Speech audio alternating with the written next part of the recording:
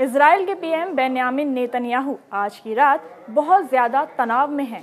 Tehran से तेलवीब तक meeting हो रही है इस बीच ईरान के सुप्रीम लीडर अली खामनेई ने ऐसा ऑर्डर दे दिया है कि नेतन्याहू के विरोधी भी बोल रहे हैं कि इसराइल में बगावत का वायरस फैल चुका है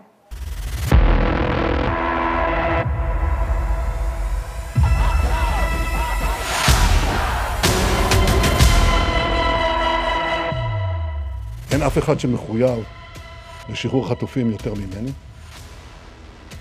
אין אף אחד שנלחם עבור שחרור חטופים, וגם נפצעתי בשחרור חטופים. אף אחד שלא ייתן לי, יטיף לי בעניין. इसराइल के राष्ट्रपति बेनियामिन नेतन्याहू तमतमाए हुए हैं गुस्से से भरे हैं बंधक बनाए छह इसराइलियों की मौत ने देश को झकझोर कर रख दिया है हजारों लोग सड़क पर उतर आए उसी के बाद नेतन्याहू का ये बयान आया है हाथ बंधे हुए हैं पैर बंधे हुए हैं। खून से लथपथ दिखाने के लिए शरीर पर लाल रंग का इस्तेमाल किया गया है। ये प्रतीकात्मक बंधक हैं जिन्हें हमास ने पिछले साल अक्टूबर में इसराइल में घुसकर कब्जे में ले लिया। अब इनमें से ही छह लोगों की मौत की खबर आई है। पूरे इसराइल में खलबली मच गई है। They Hamas,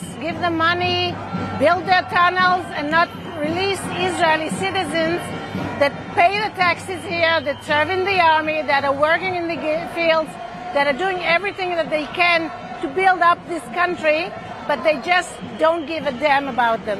So I think if somebody needs to do it, it's us, the people. We don't have any choice.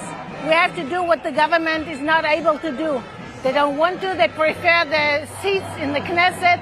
They prefer the religious partners in the uh, government. And they don't care about people that really live here and care about this country.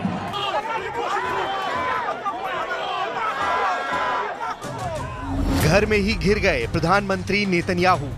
छह बंधकों की हत्या से Israel में कोहराम। प्रदर्शनकारियों की मांग, नेतन्याहू दे इस्तीफा। ये पहली बार नहीं हुआ जब गाजा में आग उगलती इसराइल की तोपों की तरह ही। इसराइल के भीतर लोग नेतन्याहू के खिलाफ आग उगलने लगे हैं। दोनों में फ़र्क बस इतना है कि गाजा में लाशें बिछ रही हैं और इसराइल में नेतन्याहू का इस्तीफा मांगा जा रहा है। छह बंधकों के मृत पाए जाने के बाद इसराइल के हज़ारों लोग शोक में डूब गए। पीड़ित परिवारों और ज़्यादातर लोगों ने प्रधानमंत्री नेतन्याहू को दोषी ठहराया और कहा कि लगभग 11 महीने पुराने युद्ध को समाप्त करने के लिए हमास के साथ समझौते के माध्यम से उन्हें ज़िंदा वापस लाया जा सकता था।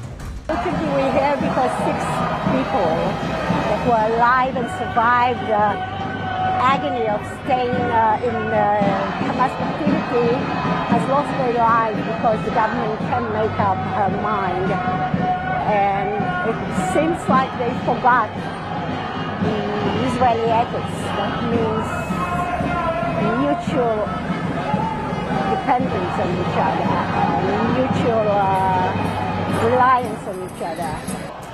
Israel के सबसे बड़े व्यापार संघ हिस्ताद्रुत ने सोमवार को आम हड़ताल का आह्वान किया था, जो युद्ध की शुरुआत के बाद पहली हड़ताल थी। इसका मकसद बैंकिंग, स्वास्थ्य सेवा और देश के मुख्य एयरपोर्ट सहित अर्थव्यवस्था के प्रमुख क्षेत्रों को बंद करना या बधित करना था। नेतन्याहू उस प्रदर्शन से बौखलाए दिखे। नेतन्याहू मानकर चल रहे थे कि उनकी हमास के खिलाफ जंग की रणनीति सही ट्रैक पर है इसराइल के भीतर भी लोग कम नहीं हैं जो हमास पर लगातार सैन्य दबाव बनाए रखने की नेतन्याहू की रणनीति का समर्थन करते हैं लेकिन अब इन लोगों का भी सब्र टूट रहा है क्योंकि युद्ध लंबा खिंच रहा है और बंधक संकट ज्यो का त्यों है רצחו לנו שישה מחטופינו בדם קר. אז אחרי הרצח הנורא הזה, אני לא מאמין שמישהו יבוא, מישהו רציני יבוא ויגיד, עכשיו תעשו עוד ויתורים? אתם לא רציניים? החמאס רציני? אני לא מאמין שהדבר הזה קיים. לא מאמין שמישהו חושב את זה, באמת. ואני לא מאמין שהנשיא ביידן באמת אמר. इसराइल के कई शहरों में पुलिस से प्रदर्शनकारी भिड़ गए। पाँच लाख से ज़्यादा प्रदर्शनकारी सड़कों पर उतरे।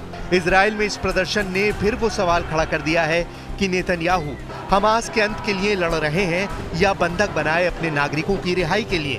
प्रदर्शनकारी प्रधानमंत्री नेतन्याहू और उनकी सरकार पर बंधकों की रिहाई के लिए ठोस कदम नहीं उठाने का आरोप लगा रहे हैं। प्रदर्शनकारियों का मानना है कि नेतन्याहू अगर जंग रोकने का समझौता कर लेते तो बंधकों को छुड़ाया जा सकता था। नेतन्याहू राजनीतिक वजहों से समझौता करना नहीं चाहते Find the end of the war in Gaza. in Gaza. when, when Hamas no longer rules Gaza. We throw them out. I would define the end of the war in uh, World War II when the Nazis no longer rule Germany. To do that, you need to have a military victory, and you have to have also the political victory to destroy their governance. We're out to destroy the military capabilities of Hamas and the governing capabilities of Hamas, and we're well on our way to achieving both. That is total victory. Gaza में Israeli बंधकों के शव मिलने के बाद Hamas ने Israel के लिए चेतावनी जारी की है हमास ने कहा कि अगर इसराइल की सेना ने उन पर दबाव बनाना बंद नहीं किया तो वो बंधकों को ताबूतों में रखकर इसराइल भेजेंगे। हमास ने धमकी देते हुए कहा कि इसके लिए वो अपने लड़ाकों को आदेश भी दे चुका है। अल जजीरा की रिपोर्ट के मुताबिक कासिम ब्रिगेड के प्रवक्ता अबू उबैदा ने कहा कि अगर इसराइल के प्रधानमंत्री नेतन्याहू बिना समझौते के सैन्य दबाव बनाकर बंधकों को छुड़ाने की कोशिश करेंगे तो हम उन्हें ताबूत में रखकर लौटाएँगे। अब फैसला परिजनों के हाथ में है कि वो बंधकों को ज़िंदा वापस चाहते हैं या उनके शव। हमास ने कहा कि बंधकों की मौत के लिए नेतन्याहू और उनकी सेना जिम्मेदार है। 31 अगस्त को इसराइल को गजा में हमास की सुरंगों में छह बंधकों के शव मिले थे। इसराइली सेना आईडीएफ ने बताया कि सैनिकों के वहाँ पहुँचने से कुछ देर पहले ही हमास ने इन बंधकों को बर्बरता के साथ मार डाला। इजरायली डिफेंस फोर्स के मुताबिक उन्हें इलाके में छह बंधकों के मौजूद होने की खबर मिली थी। इस वजह से सेना बहुत ही सतर्कता के साथ आगे बढ़ रही थी। इस बीच उन्हें हमास की एक सुरंग का पता चला। यहाँ छानबीन के दौरान बंधकों के शव बरामद हुए। हमास ने इसराइल के कुल दो सौ इक्यावन नागरिकों को बंधक बनाया था। इनमें से सत्तानवे अब भी हमास की कैद में है। 105 बंधकों को पिछले साल नवंबर में हुए सीज फायर में रिहा कर दिया गया था। वहीं करीब 33 लोगों की मौत हो चुकी है। नेतन्याहू अपनी जनता से माफ़ी मांग रहे हैं कि वो बंधकों को बचा नहीं पाए। लेकिन नेतन्याहू के दिमाग में इस वक्त हमास को खोलते कड़ाही में तलने वाला प्लान भी चल रहा है। नेतन्याहू पहले भी कह चुके हैं कि जब तक हमास के अंतिम आतंकी का खात्मा नहीं हो जाता, वो जंग नहीं रोकने वाले। लेकिन 11 महीनों के युद्ध में हमास तबाह ज़रूर हो रहा है। पर घुटने टेकने के लिए मजबूर नहीं हो रहा। अब तक जिन बंधकों की रिहाई के नाम पर इसराइल ने गजा पर हमला किया, उन बंधकों को ही हमास मौत के घाट उतार रहा है। छह बंधकों की हत्या की खबर उस वक्त आई है जब नेतन्याहू गजा में इसराइली बंधकों की जान बचाने की बजाय गजा और मिस्र के बीच सीमा पर रणनीतिक गलियारे पर इसराइली सैनिकों को बनाए रखने को प्राथमिकता देने का फैसला किया। फिलाडेल्फी कॉरिडोर पर इसराइली सैनिकों की मौजूदगी बनाए रखने के नेतन्याहू और रक्षा मंत्री ऑफ़ गैलेंट के बीच वाक युद्ध छिड़ गया था। फिलाडेल्फिया कॉरिडोर एक संकरी भूमि पट्टी का इसराइली कोड नाम है, जिसकी लंबाई 14 किलोमीटर है, जो गजा पट्टी और मिस्र के बीच की सीमा पर स्थित है। 2005 में गजा पट्टी से इसराइल के एक तरफा अलगाव के बाद मिस्र के साथ फिलाडेल्फी समझौता संपन्न हुआ। जिसने मिस्र को मिस्र की ओर से सीमा पर गश्त करने के लिए मार्ग पर साढ़े सात सौ सीमा रक्षकों को तैनात करने का अधिकार दिया। हमास के लिए फिलाडेल्फी कॉरिडोर एक महत्वपूर्ण सप्लाई लाइन है।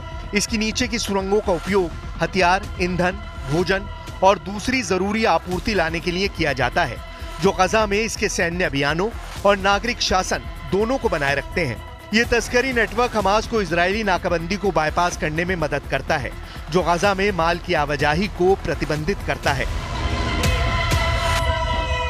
नेतन्याहू अब आगे क्या करते हैं, इस पर पूरी दुनिया की नज़र है, क्योंकि हमास अब भी पूरे ताव से नेतन्याहू को आँखें ही नहीं दिखा रहा, बल्कि इजरायली नागरिकों को मौत की नींद भी सुला रहा है।